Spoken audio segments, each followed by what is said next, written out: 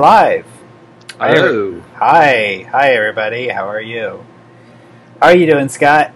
I'm I am good. Uh, Just uh, trying to keep up with everything that's going on. Uh, it's an exciting time for Offshore Explorer.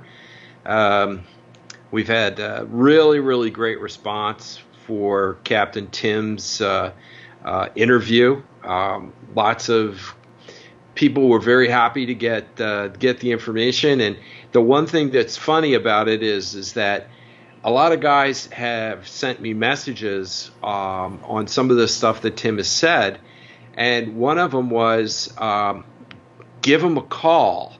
And what he meant by that was uh, it never occurred to guys on a sailboat to get on the VHF radio, dial up channel 16 or channel 13 and in New York Harbor they use 13 for most of the tugboats, but 16 is the international hail uh, hailing channel, so they would be able to hear you and answer you and say, "Hey, um, I'm this sailboat off of your port bow."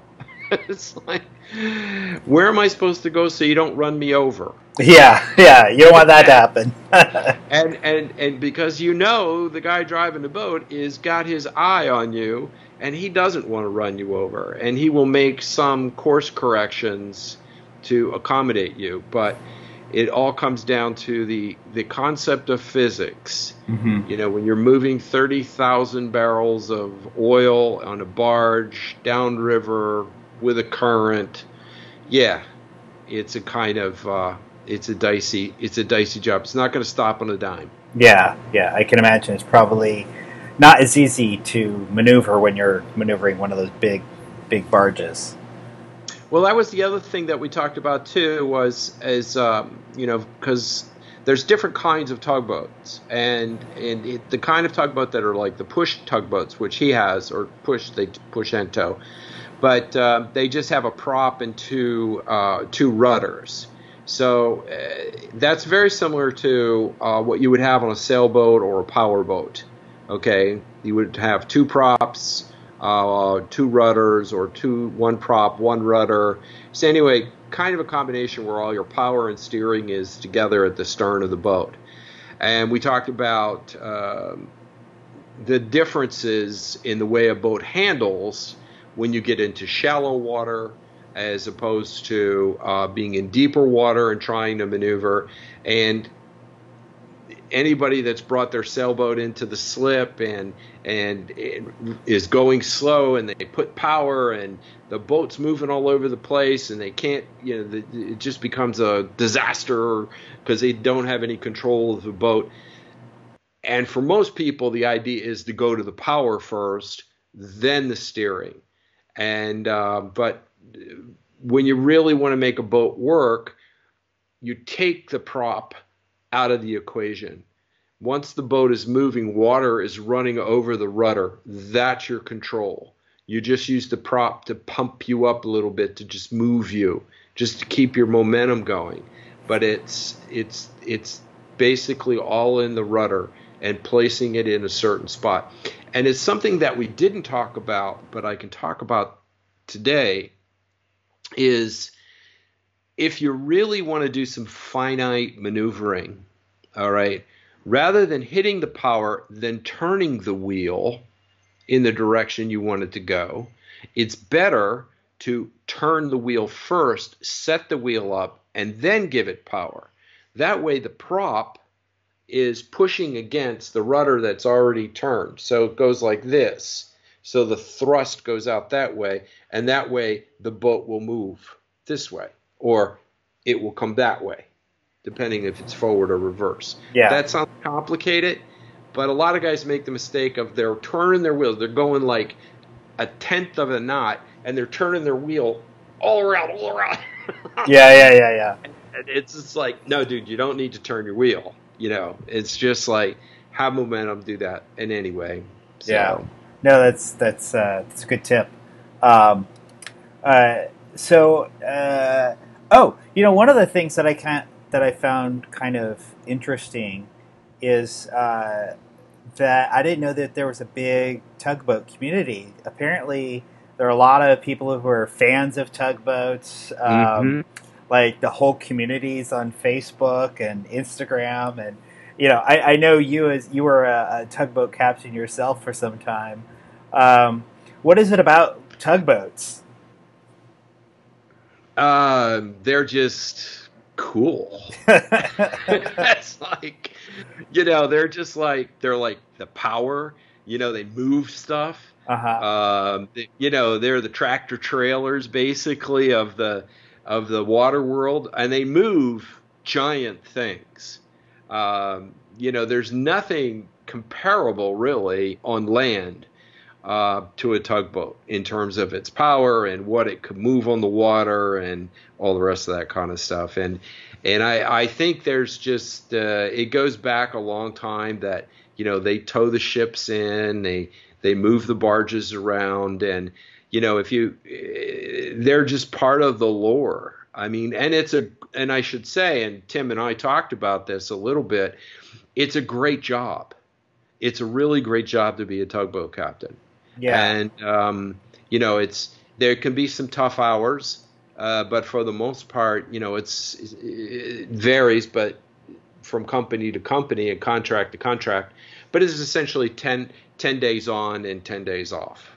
yeah, So, I, I mean, I worked that contract um, back uh, in the early 80s uh, when I was uh, young and didn't know any better.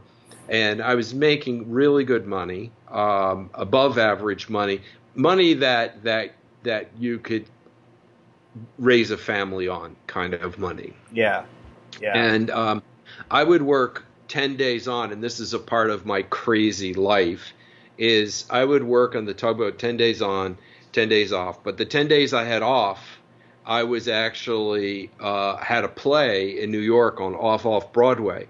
So I would I would go and, and you know I'd have the whole uh, uh, playwright thing going on, and you know I have the scarf and yeah, very different life.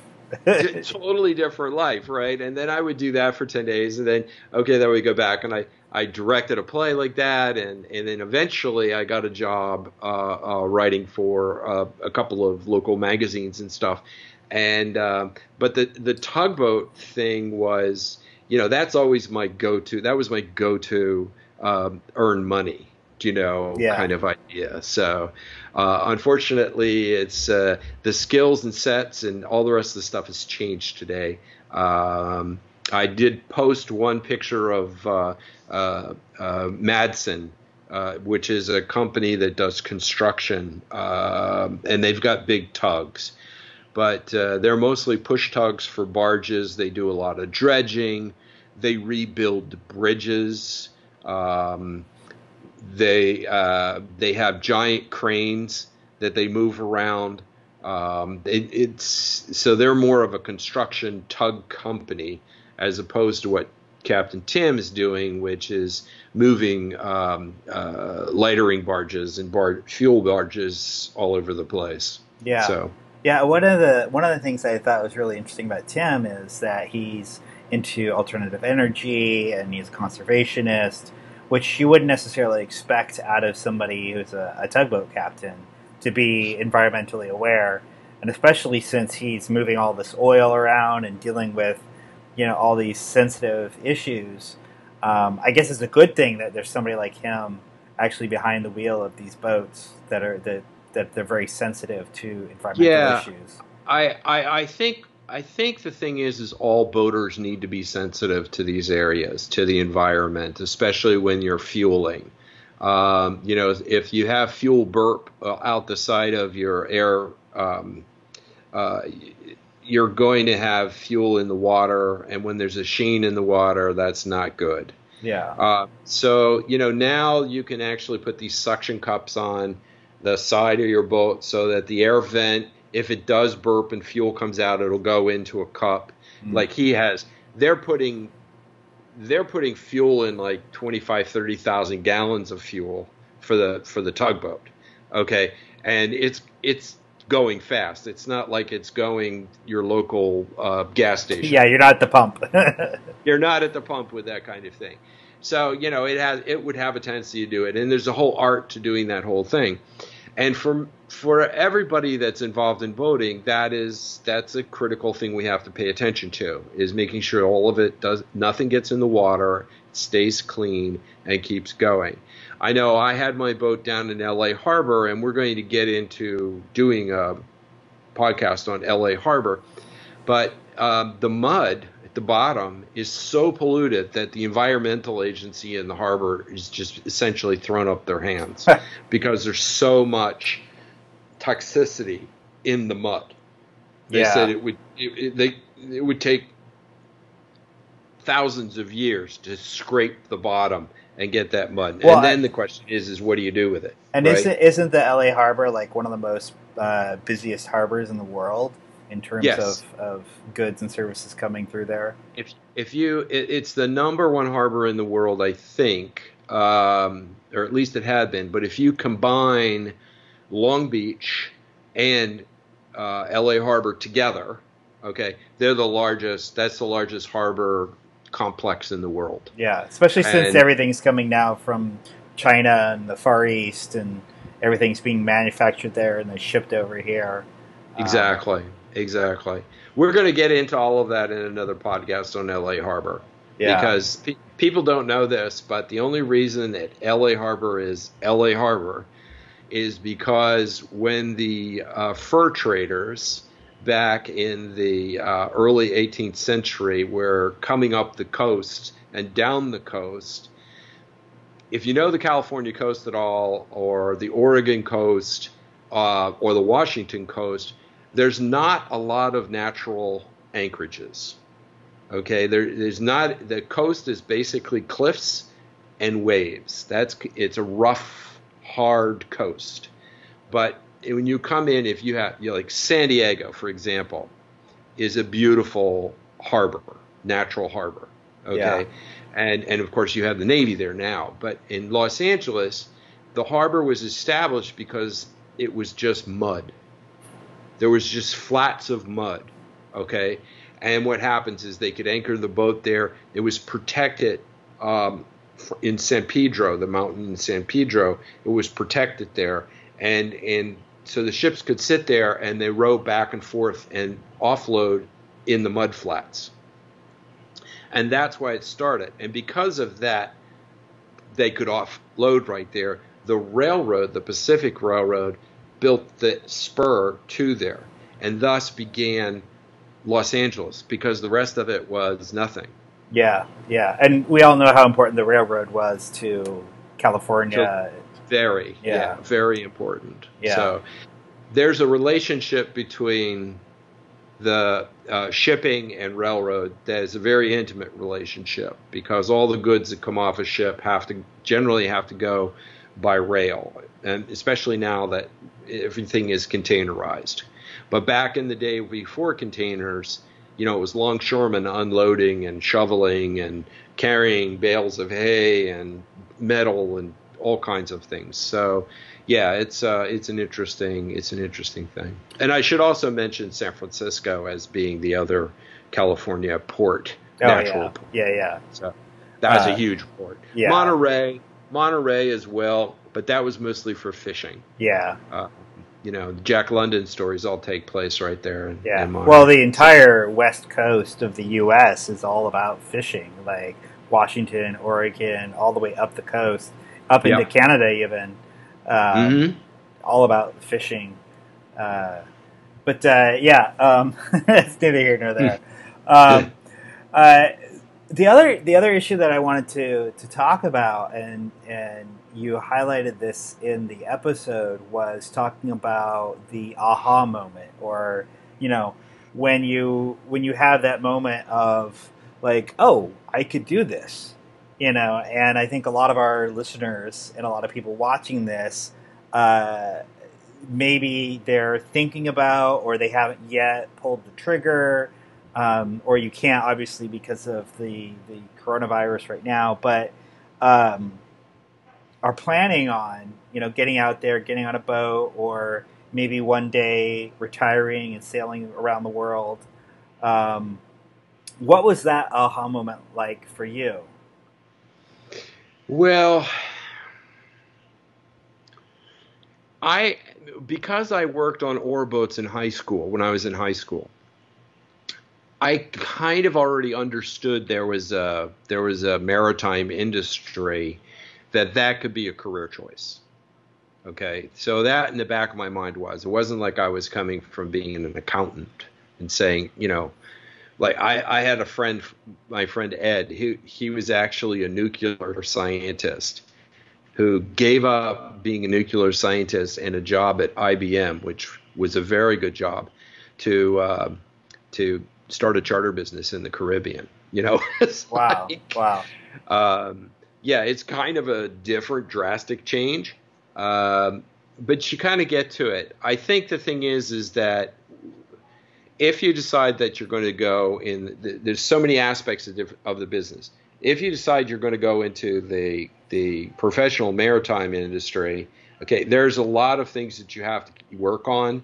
There's some licensing that you have to go through um, it's a real push to go in that direction, mm-hmm. and um, you've got to take it seriously. And there's ways you can that are outlined that you could end up being a tugboat captain, like Tim, you know, and getting your license and finding your way. It's like we didn't talk about it, but pilots, okay, uh, those are the the guys that get on the boat outside the harbor and bring it into the slip, okay. Now the pilots generally, that's not a job anybody can get. That's even if you were qualified, it's hard to get that job because it's all about who you know and there's a strict hierarchy. And in new york i think there was like one family that were all the pilots for the new york hmm. pilots. Yeah. They're all they were all related yeah. right? So that's kind of there's that nepotism that takes place within the whole piece. And then um, if you if you're just going to get on your boat and go cruising that's a different thing um, and I talk about that a little bit um, in some of the other podcasts that we have, and I'm going to talk about it more about getting up and leaving. Okay, yeah. and that's that's that's a tough thing because a lot of guys, a lot of people over prepare. They they think like people on land. They have to have this and that, and this and that, and I can't go because of this. And all it is is excuses. Yeah. Okay. Yeah. A funny a funny story about getting up and going that I remembered the other day. I was in Trinidad in the um, clearing in in the and and and the guy there's a couple of guys sitting in there and and this Frenchman walked in this little skinny young French guy right with hair all over the place and you know he said oh I'm here to check in and he didn't speak any English and I helped a little bit in the translation. And they said, Well, where did you come from? Where's your boat? So we all kind of like looked out the door because the office was right on the dock. And we looked down, and there's this little, like, 18 foot trimaran. Okay. Literally, the center of the 18 foot trimaran is you could lay in it or sit in it. And that was it. That's all the room you had. And then the, the pontoons, and then it had uh, uh, a trampoline across between the three of them. Uh-huh. And we and and they didn't believe the authorities did not believe that he he came from France. Wow, wow! So because he sailed all the way somebody, across the Atlantic in the little trimaran. No, it's worse than that. He went out for a sail. Uh-huh. What I what when we talked afterwards, he went out for a sail one day, okay, and just decided to leave and just he, keep going. And and he went uh, he went all the way down. Um, he literally sailed all the way down to uh, the Canary Islands. Wow. Where he bought some food. Okay. he didn't. He said I. He said I kind of was planning, but I really wasn't planning to leave. And he said then I just got the idea. He says I can cross from here. I can go to the Caribbean, which was his dream and he did. He he wow. made it like in eleven days in the wow. trimaran. So he was flying. It was wow. it's a so um, and he got there in Trinidad, and he did, he had to ask what island it was. he didn't even know where he, he was.